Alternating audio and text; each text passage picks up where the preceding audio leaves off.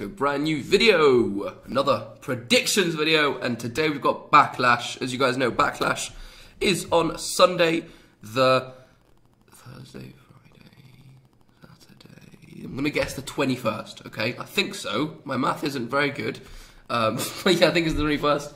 But we're gonna get straight into this card. It's not a huge card, so this shouldn't be a shouldn't be a huge video.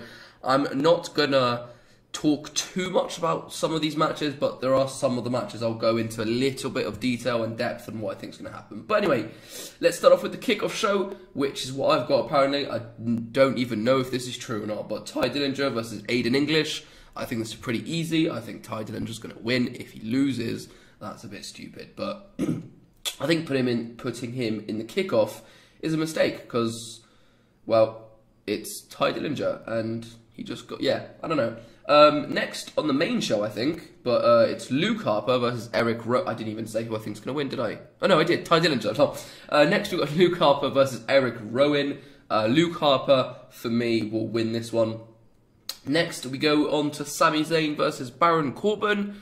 Um, not too into this feud, really, because uh, it hasn't done much, has it, really?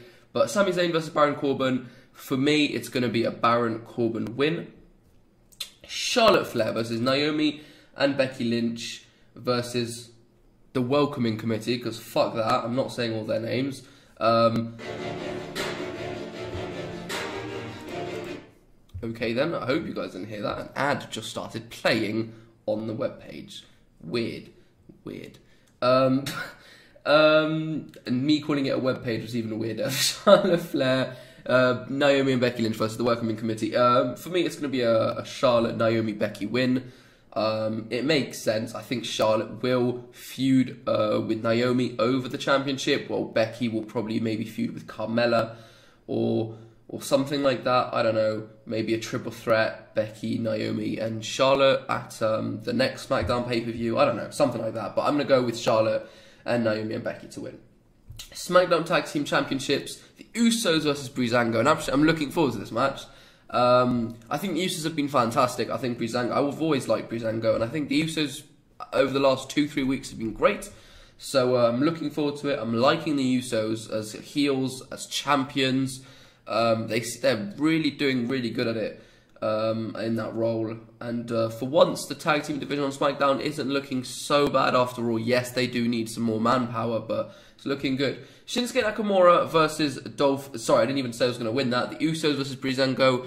I'm going to go with the Usos to retain. So Shinsuke Nakamura versus Dolph Ziggler. This should be and is probably the most predictable one on the card. Um, it makes no sense for Dolph Ziggler to win, obviously he's not going to beat Nakamura on his uh, in his first official match on the main roster on pay per view. It's not going to happen. Shinsuke Nakamura is going to walk away with the win, but I think it's going to be a great match, and I'm really looking forward to it. Next, we have the United States Championship match Kevin Owens versus AJ Styles. This is an unpredictable one. Gosh, this is, an unpredictable, this is unpredictable as hell. Um, I'm going to go with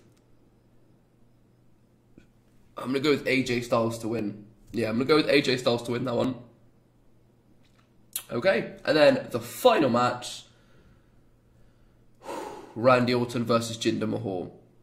Now, my head is telling me to go Randy because it's just not likely they're actually going to end up putting the belt on Jinder.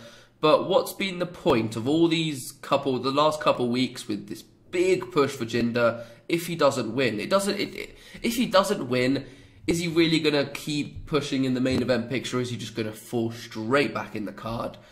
Um, I don't know.